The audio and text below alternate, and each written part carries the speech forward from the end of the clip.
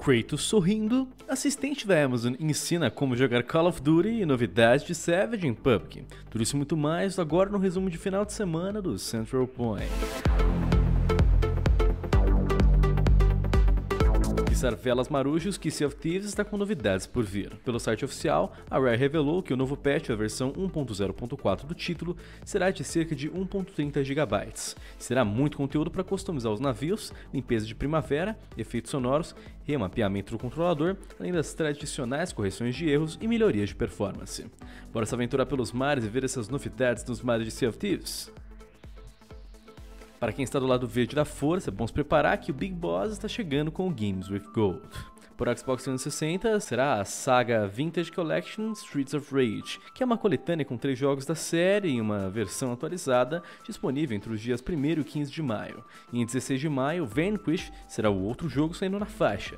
Já para Xbox One, sai entre os dias 1 e 15 de maio, será o Super Mega Baseball 2, mas para 16 de maio até 15 de junho será Metal Gear Solid 5 Defendant Pain.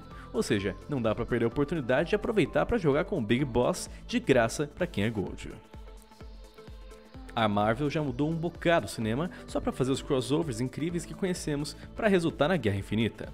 Mas pode ser que a Marvel também estenda esse modo do universo compartilhado para os games também, viu?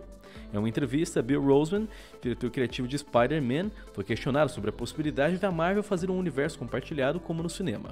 E ele respondeu que, a princípio, o universo cinematográfico queria fazer o melhor filme do Homem de Ferro e a abordagem do jogo de cabeça do Teia não é diferente.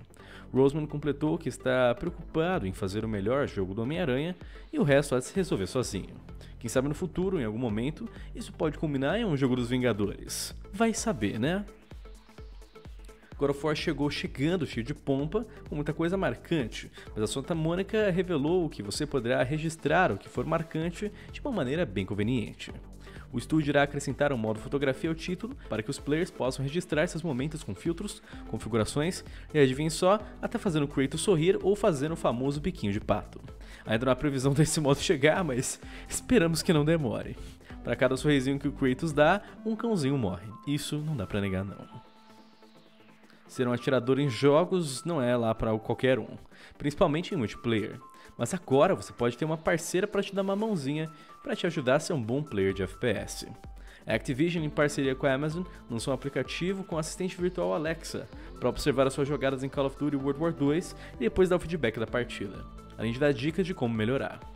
O app se chama App Call of Duty Alexa Skills e ele reúne dados da partida, aprende padrões que você adota e sugere formas variadas de encarar as jogatinas. Eis aí a sua chance de melhorar suas jogatinas no FPS. O Battle Royale está sendo uma verdadeira febre entre players e está fazendo muitos desenvolvedores mudarem seus planos para se adaptarem ao estilo, mas parece que a Rockstar não está muito à vontade de se enveredar por esses caminhos não. Em uma conversa com investidores, Strauss Zelnick, o CEO da Take-Two, diz que acha bem interessante essa moda do Battle Royale, mas que a Rockstar vai acabar trilhando caminhos diferentes dos que as outras empresas fazem. Porém, mesmo que não seja feito o modo Battle Royale em GTA ou Red Dead Redemption 2, todos estão bem atentos aos feedbacks e isso pode ser repensado no futuro. Acha que funcionaria um Battle Royale em Red Dead? O que, que vocês acham? Deixe a opinião de vocês aí nos comentários. Já comentamos que Savage, o novo mapa de PUBG, vem sendo testado há algumas semanas, mas pode ser que ele tenha mais novidades do que imaginávamos. Em um post no blog oficial, os times de PUBG revelaram um desenho com partes do mapa ainda não reveladas, onde você poderá se jogar e explorar um sistema de cavernas, além dos planos de incluir armas e veículos temáticos do mapa. Ansiosos por esse novo mapa? Como vocês acham que ele vai ser? Deem a sua opinião aí nos comentários. Enfim, o povo, para mais novidades do mundo dos games, é só ficar de olho no Central Point para todo dia. E para mais do mundo dos jogos, é só se inscrever aqui na Central. Galera que foi o Lion, muito obrigado pela sua atenção e até mais.